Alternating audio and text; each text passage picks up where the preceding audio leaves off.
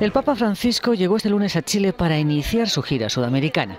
En el aeropuerto de Santiago fue recibido por la presidenta Michelle Bachelet y la Orquesta Sinfónica Infantil Metropolitana, que interpretó una pieza musical para darle la bienvenida.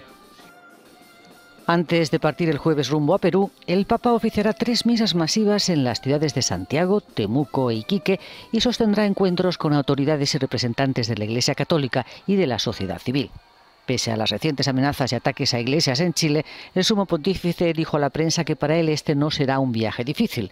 Aún así, las autoridades han desplegado más de 18.000 policías y 15.000 voluntarios para velar por su seguridad.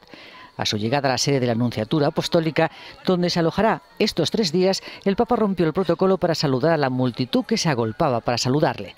Este martes espera que más de medio millón de personas se congreguen en el Parque de O'Higgins, donde el Papa celebrará una misa dedicada a la paz y la justicia.